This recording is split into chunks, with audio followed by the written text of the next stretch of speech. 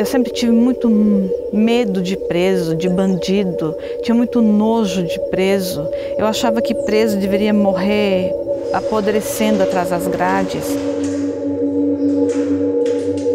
E quando eu via um preso com uma Bíblia, eu falava comigo mesmo: por que não pegou a Bíblia antes? Por que está aparecendo só agora com a Bíblia? Eu não acreditava na transformação de um bandido.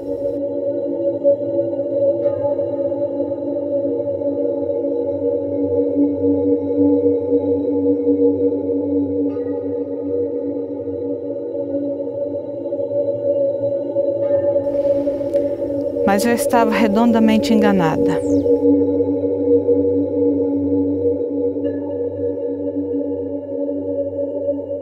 Deus insistiu comigo, Deus não desistiu de mim.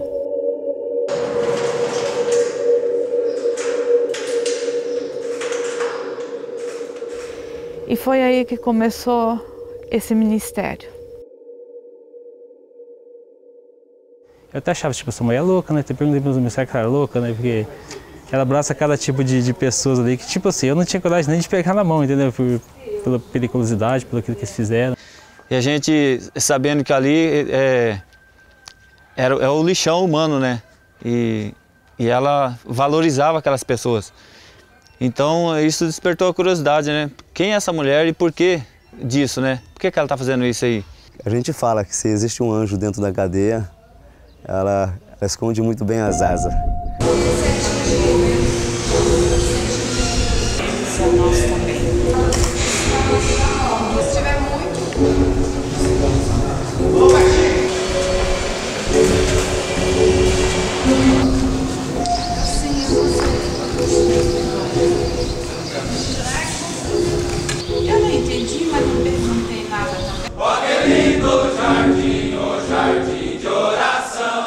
Há mais de 20 anos que eu estou aprendendo a conhecer a Jesus nesse ministério com os presos.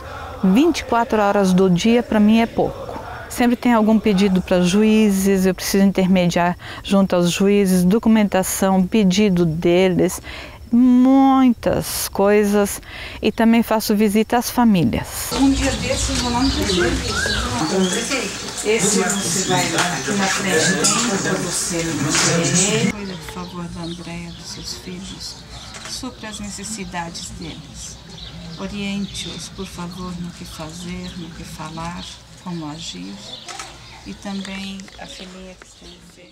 Mais de duas mil pessoas já entregaram seus corações a Jesus através desse ministério da prisão, porque eles nos proporcionaram o privilégio de nós, como igreja, termos uma ala dentro dos presídios da igreja. Cada igreja, que na realidade é uma cela, é, nós temos um líder lá dentro. E esses líderes nossos dentro das unidades penais são presos também. Foi sete anos a mãe Ruth visitando, nunca desistindo, vindo atrás de mim, falando comigo. Eu ligando para ela, dando trabalho e ainda assim ela nunca desistiu. Na verdade, eu estou preso fisicamente, mas alvará celestial eu, eu adquiri. Mas preso não é preso para sempre. Um dia ele vai estar em liberdade. E quando ele receber a liberdade, ele pode sair somente em duas situações. Ou voltando para o mundo do crime, pior do que ele entrou, ou conhecendo Jesus e levando o amor de Cristo para as pessoas. Ele é a verdadeira videira. O Pai é o agricultor. Aquele que permanece Jesus dá frutos. Eu estou muito feliz por permanecer firme nesse caminho e, e a alegria maior de poder chegar lá e falar para eles que eu passei por lá. E que se eles quiserem, ele também pode ficar firme em Deus, que um dia ele poderá estar fazendo parte também desse ministério.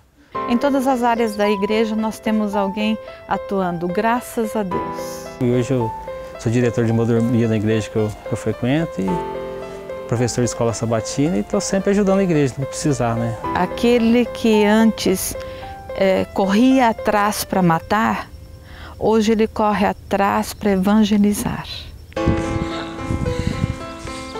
Você vai amar, mas leia assim rápido para você passar a catear. essas coisas. Né? Graças a Deus, que Deus seja louvado.